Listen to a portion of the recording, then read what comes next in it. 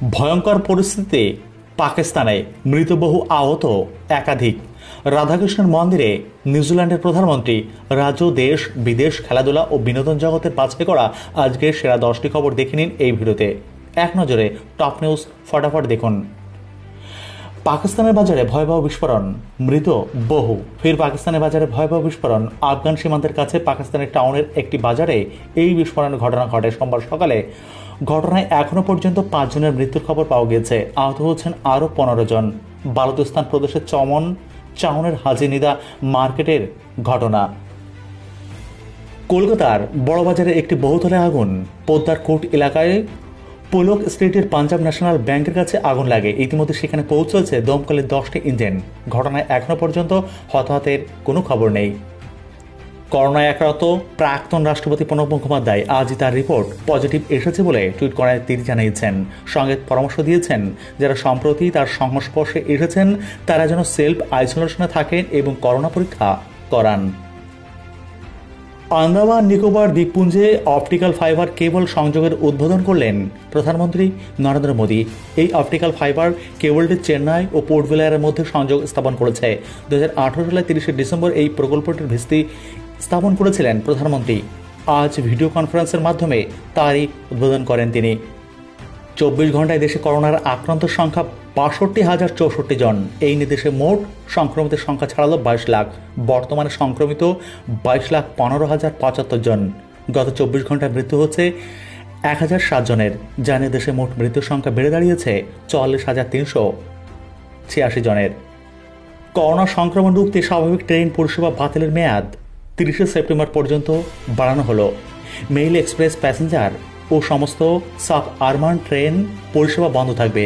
এর আগে বারোই অগাস্ট পর্যন্ত বাতিল করা হয়েছিল এই সব পরিষেবা। এবার আইপিএল এর টাইটেল স্পন্সর দৌড়ে নামতে চলেছে যোগগুরু বাবা রামদেবের সংস্থা পতঞ্জলির আয়ুর্বেদ।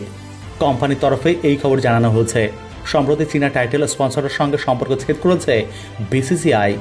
চলতি বছরে কোনো দেশীয় কোম্পানিকে টাইটেল স্পন্সর হিসাবে চাইছে বোর্ড, তাই বিভিন্ন মাল্টি ন্যাশনাল ব্র্যান্ডের সঙ্গে স্পন্সরশিপে দৌড়ে সামিল হচ্ছে পতঞ্জলি। খুন না হয়ে গ্রেপ্তারি কেন? হেমতাবাদের বিধায়কের মৃত্যুর তদন্ত নিয়ে প্রশ্ন তুললেন বিজেপির রাজ্য সভাপতি দিলীপ ঘোষ। তার দাবি, পুলিশ ও তৃণমূল যৌথভাবে বিধায়কের মৃত্যুকে আত্মহত্যার তকমা দিতে চাইছে। যদিও তা সফল হবে না। সুশান্ত সিং রাজপুতের মৃত্যু মামলায় তার প্রেমিকা রিয়া চক্রবর্তীর উপর থেকে নজর সরছে না ইডির।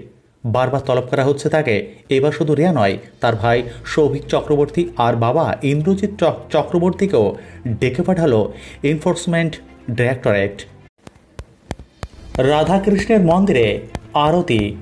ভোগে লুচি, ছোলার ডাল খেলেন নিউজিল্যান্ডের প্রধানমন্ত্রী। করোনা মহামারীর জেরে বিশ্বের হাতে গোনা যে কয়েকটি রাষ্ট্র, কড়া হাতে সংক্রমণ রুখতে পেরেছে তাদের মধ্যে অন্যতম হল নিউজিল্যান্ড। নৈসর্গিক সৌন্দর্যে ভরা এই দেশ কঠোর অনুশাসনের মধ্য দিয়ে সংক্রমণকে লাগাম পড়াতে পেরেছে। আর এক কৃতিত্ব অবশ্যই প্রাপ্য প্রধানমন্ত্রী জেসিন্ডা আর্ডেনের। দেশের জনগণ তো বটেই, বিশ্বের দরবারেও তিনি বহু তারিফ কুড়িয়েছেন। একই সঙ্গে ভিন্ন সম্প্রদায়ের সংস্কৃতির প্রতি তার মনোভাব প্রশংসনীয়।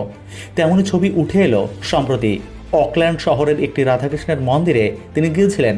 সেখানে হিন্দু সংস্কৃতির প্রতি তার শ্রদ্ধা, বিনম্রতা, মন কেড়েছে প্রবাসী ভারতীয়দের নটিজনদের তার ব্যবহারের প্রশংসা করেছেন সোশ্যাল মিডিয়ায়। এরপর দেখা যায় নিউজিল্যান্ডের মাননীয় প্রধানমন্ত্রী এই ছোট্ট রাধাকৃষ্ণের মন্দিরে পা রেখে হিন্দু সংস্কৃতির সম্মান জানিয়েছেন। তার শুদ্ধ নিরামিষ ভোগ, লুচি ঝোলার ডাল খেয়ে বেশ তৃপ্ত হয়েছেন।